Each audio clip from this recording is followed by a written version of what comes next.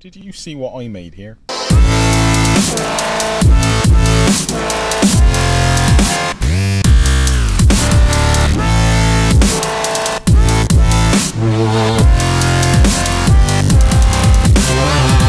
I took a uh, uh, a old phone holder cradle and um, attached it to the uh, to the ram fitting and put me put fitted me old TomTom on it. Um, let me show you what I've done.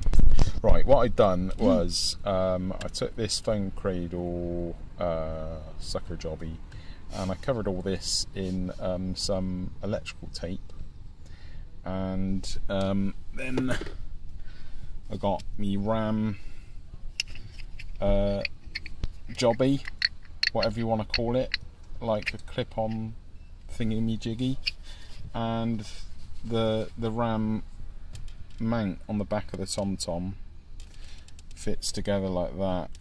So you've got one RAM point, and then I made up my own RAM point. And, uh, and then as you see it all goes together. I thought it was absolutely freaking genius. Um, he's so proud of himself. I, I, am very proud of myself.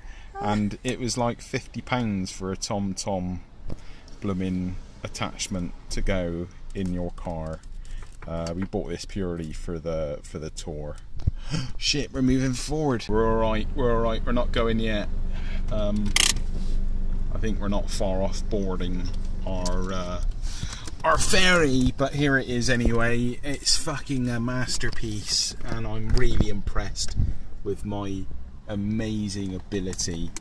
And it's got a really nice long shaft there. Shaft, shaft, shaft, shaft, shaft, shaft, shaft. Yeah, that's great, isn't it? So um, yeah, I'm really pleased with that. It doesn't take much to entertain you, really.